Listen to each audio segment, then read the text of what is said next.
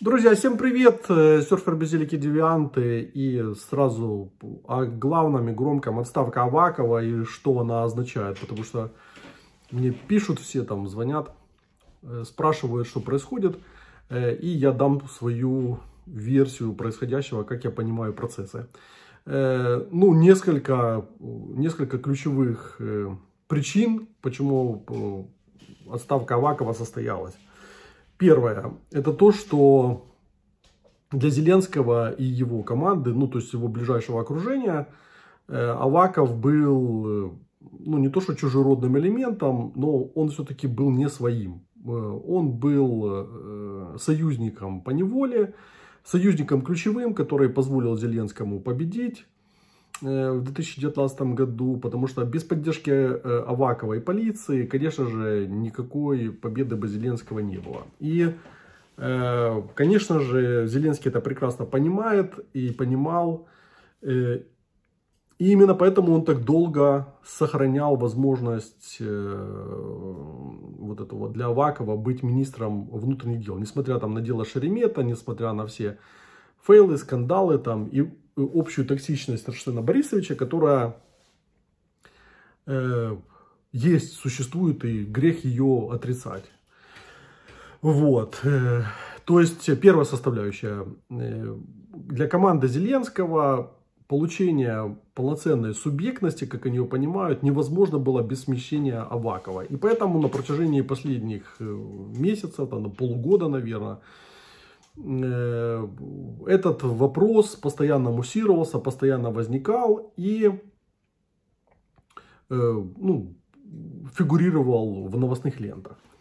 Вторая составляющая, внешнеполитическая. Аваков является одной из ключевых фигур, которая, э, ну, в общем-то, всячески противилась тому, что было прописано в Минске. И, ну, он, в общем-то, это и не скрывал.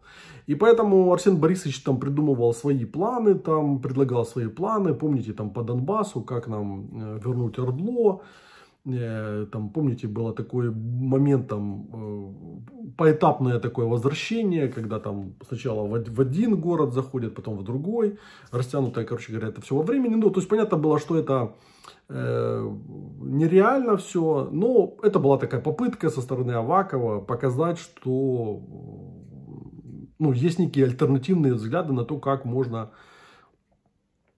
э, играть вне Минска что может быть альтернатива Минска, либо дополнение Минску там, и так далее, и так далее, и так далее. Но ключевое заключается в том, что Аваков э, для наших западных союзников, прежде всего для американцев, он был тем человеком, который четко себя позиционировал как, э, ну, скажем, гарантия того, что русский мир сюда не будет заходить. И э, этим он был ценен для Вашингтона. Э, на этом он строил свою э, игру Аваков. То есть э, возможность прямых выходов на ключевых игроков в Вашингтоне, конечно же, была очень сильной позицией Арсена Борисовича во внутриполитическом раскладе.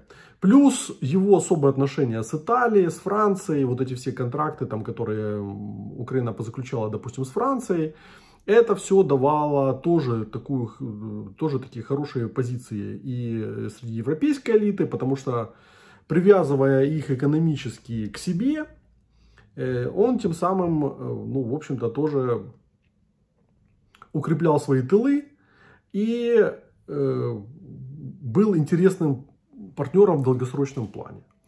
Вот. Но после того, как пришел к власти Байден, и после того, как Байден встретился с Путиным, и пошли эти все маневры, маневры относительно разрядки э, с россиянами, то, конечно же, такая позиция Авакова, она становится невыгодной для Вашингтона и э, невыгодной для европейцев.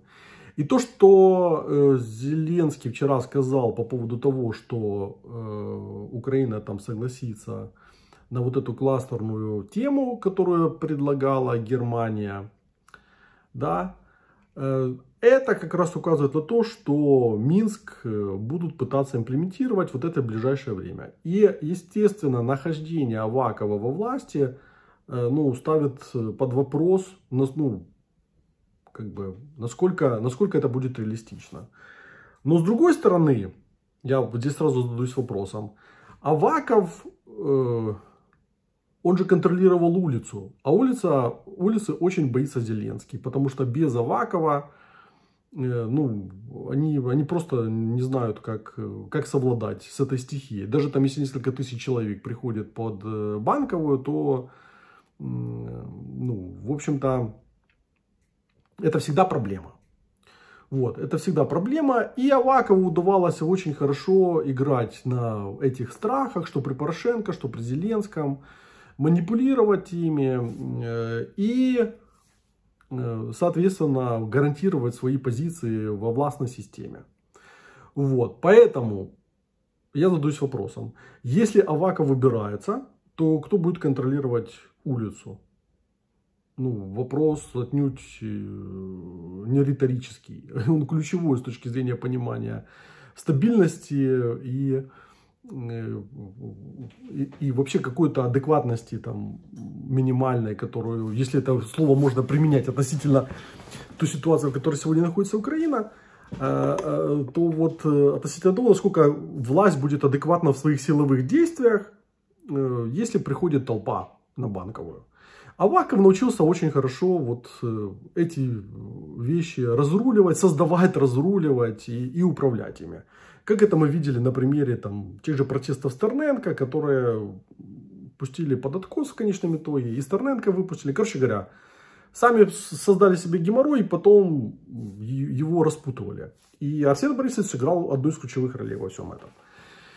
Так, э, Потом еще один фактор, это, собственно говоря, усталость самого Авакова, потому что долгое нахождение во власти, больше 7 лет, а учитывая опыт, который был при Ющенко, там, ну, короче говоря, Арсен Борисович это зубр украинской политики. И э, вот эта общая тенденция, когда зубры украинской политики потихонечку начинают выбивать из игры, естественно, рано или поздно должна была коснуться его. Э, и точно так же, как э, там, в свое время пришел черед э, Сан Саныча Мороза или Симоненко, там, или других политиков, которые влияли на очень многие, сформировались и влияли на очень многие процессы, начиная с времен Кучмы. Вот точно так же потихоньку сей черед вот и дошел и до Авакова. И поэтому, когда говорят о том, что Аваков там вернется в кресло премьера, ну, честно говоря, я не знаю, э, какая должна быть ситуация для того, чтобы Авакову позволили вернуться во власть еще в более сильной позиции. Там, да? Потому что э, ну, ситуация должна настолько напугать Зеленского, для того, чтобы он согласился на ну, премьерскую позицию Авакова, прекрасно понимая, что Арсен Борисович, ну, он умеет выстраивать вертикаль, власти, потому что, по сути, МВД оставалась последней э, более-менее дееспособной э, силовой вертикалью власти. Все остальное уже давным-давно развалилось.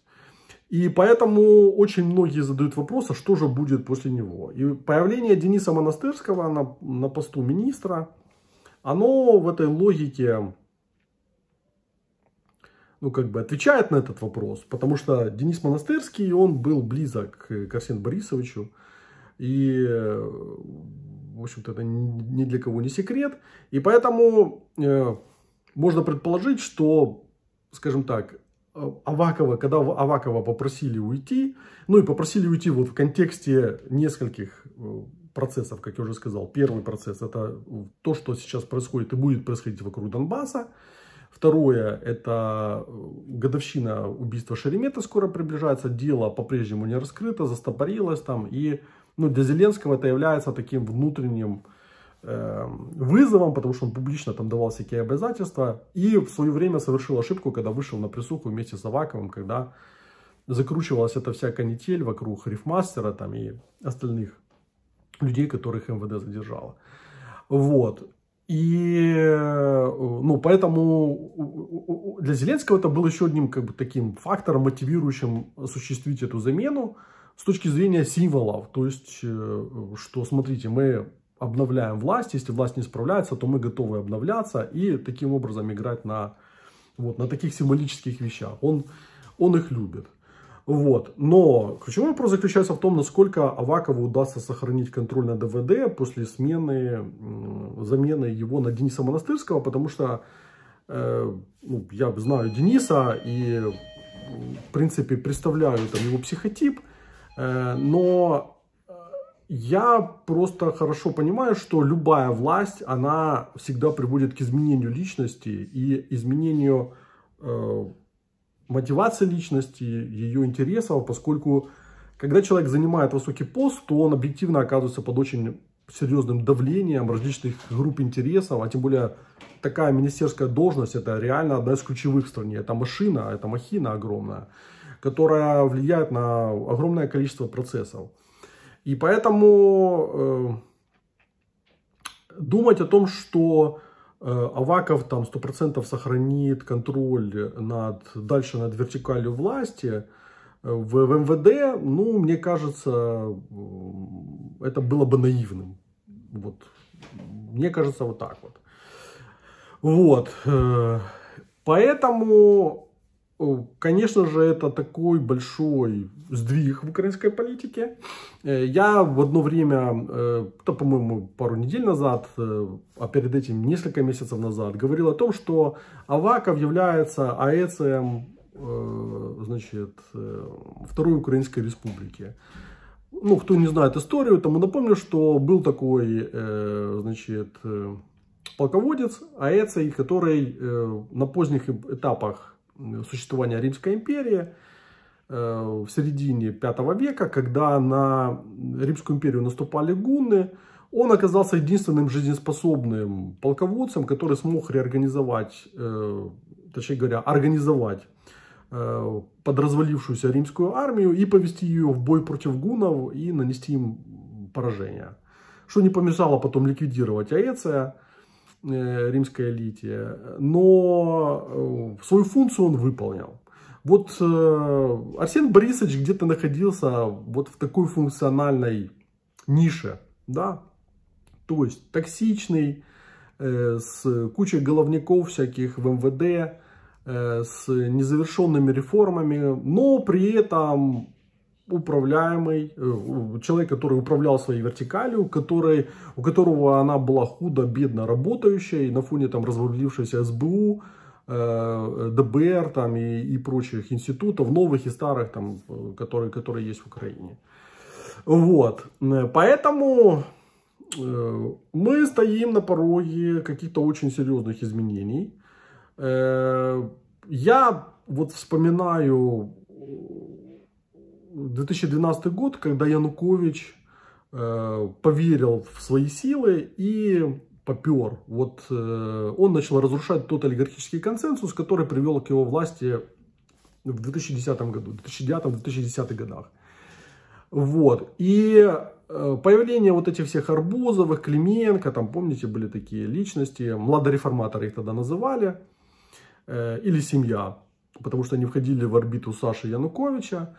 Вот, оно знаменовало окончательный, окончательный разрыв вот этого старого олигархического консенсуса 2010 года и э, обострило конфликты внутри элиты, что было одной из ключевых, а может быть самой ключевой причиной Майдана, потому что именно вот эти недовольные элиты, в лице Левочкина, Фирташа там и остальных, они э, как бы играли роль таких э, катализаторов процесса недовольства э, Януковичем. И э, все это закончилось Майданом, поскольку накладывалось на объективно существующую там, недовольство со стороны среднего класса там, и, и других социальных групп.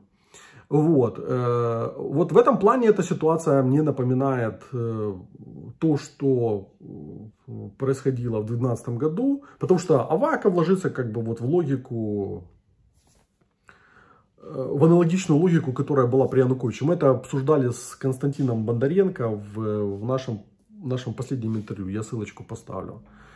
Вот. И, э, э, и, соответственно, сейчас прошло два года, и мы видим, как Зеленский тоже пытается переформатировать под себя э, систему. Как разрушаются элементы того олигархического консенсуса, который образовался вокруг него после яркой победы 2019 года.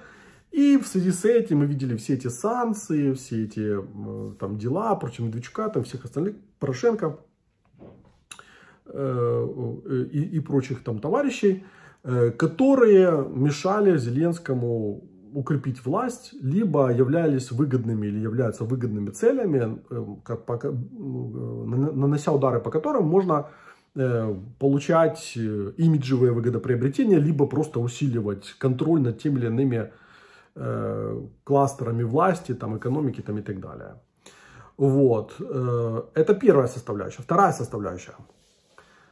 То есть, если вот такой первый сценарий базовый, когда Зеленские сами начинают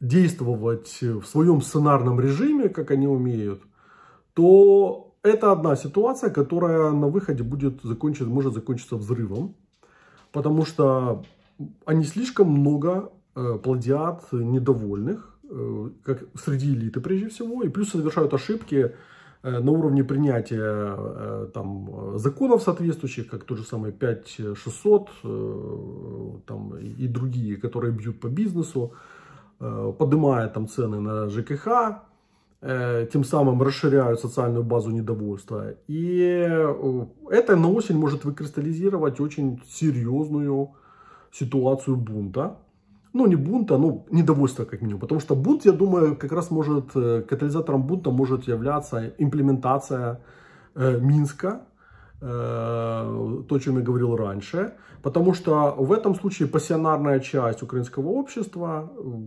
кто-то там с Порошенко, кто-то без Порошенко, но она может выйти объективно. И на, накладываясь на вот эти экономические проблемы, это создает, ну, может создать серьезные предпосылки для социального взрыва. Вот. И э, э вторая, второй сценарий, это, который тоже как бы там многих волнует, то есть насколько эта ставка была согласована с Э, со Штатами, потому что Аваков встречался с Кентом, который прибыл вчера. Кент это там исполняющий обязанности посла фактически сейчас в Украине. Э, вот. И э, фактически он вчера встретился, а сегодня вот уже произошла отставка там, да. И многие задаются вопросом, это связано с тем, что Штаты дали ему какие-то гарантии, чтобы Арсен Борисович спокойно там сидел себе, писал мемуары. Вот. Ему объективно есть что вспомнить. Вспомним то же самое интервью э, Масичук, которое он давал. Э, и, ну, в общем-то, все. То есть человек устал, э, в принципе, надоело ему как бы играть во все эти игры. Все у него хорошо. Почему бы и нет? Тем более, если есть большие гарантии какие-то со стороны Штатов, Э, вот. И это будет, может быть мощным аргументом. Точно так же, как такие гарантии были в свое время для Кучмы во времена помаранчевой революции, когда ему э, приехал Хавьер Салана с Квасневским и на пальцах разложили, э, почему лучше уйти, а не цепляться за власть. Почему лучше остаться с деньгами, а не с властью. Вот. И вот в этой логике, что американцам понадобился уход для того, чтобы дальше решить вопрос имплементации Минска и э, внутри украинской власти не было вот таких вот э, противоречий, э, он тоже важен, принципиально важен, потому что в этом случае мы увидим, какую поддержку финансовую сможет получить э, Зеленский э, в обмен на имплементацию вот этой всей красоты, которая была прописана в Минских соглашениях. Потому что таким образом они будут пытаться там подавить значит, какое-то возможное недовольство, давать какие-то компенсаторы. Зеленский, кстати, во время встречи с Меркель тоже там что-то говорил о каких-то компенсаторах. Но на самом деле я думаю, что если мы пойдем по пути размена э, украинской, украинского суверенитета на компенсаторы и на то, чтобы вернуть э, Донбасс там, под дудку э, Путина там, и, и получить его на условиях, которые выгодны россиянам, то мы повторим ровно точно такую же, еще более трагичную ошибку, когда мы сдавали ядерное оружие без каких-либо серьезных компенсаторов в обмен там, на 400 миллионов долларов там, и э, поставки ядерного топлива там, из России там, и, и, и, и вот такие вещи, не получив никаких серьезных юридических гарантий.